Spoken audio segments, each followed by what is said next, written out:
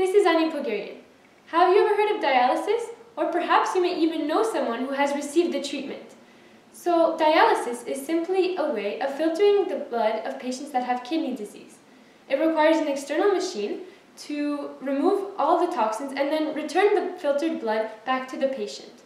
So a typical dialysis machine costs approximately $30,000 and the value of the prototype that you see here, that which is my high school science project, is of $500. So I was inspired to do this project when I heard very shocking statistics such as this one. So 90% of patients living in India and Pakistan that need the treatment simply cannot afford this life-saving treatment.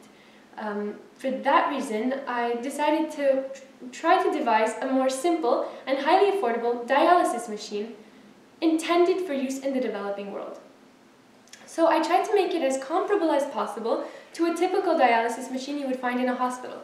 So here, this is where the blood would come in. This is the hemodialysis tubing from where the blood will enter the prototype. So then here we have a peristaltic pump that will guide the blood towards the dialyzer. So once the blood is, exits the dialyzer, it is completely filtered and all that's left is to remove the air bubbles with the air bubble remover. After that, the blood re-enters the patient's body. On the other side of the prototype, there's a separate um, circuit here, which is the dialysate circuit. So dialysate is a liquid that's prescribed by the doctor that contains the adequate amount of electrolytes depending on the patient's quality of filtration. So what we're trying to remove are electrolytes such as potassium, magnesium, calcium, and urea and creatinine, which are all very toxic to the body in large quantities when the, the kidneys can't filter it out by themselves.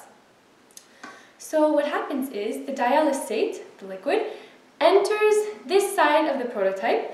Here we have an, a peristaltic pump identical to this one, and then the dialysate will then go into the dialyzer through here.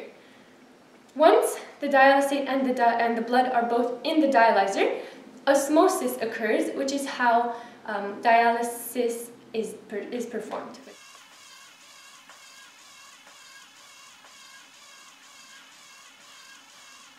Alright, so given that the dialyzer, which is the filter, and the dialysate, which is the liquid that has the adequate concentration for filtration, are both components that are prescribed by the doctor, then it is safe to say that if the mechanism of the prototype works correctly, then the, the dialysis machine will filter the blood adequately.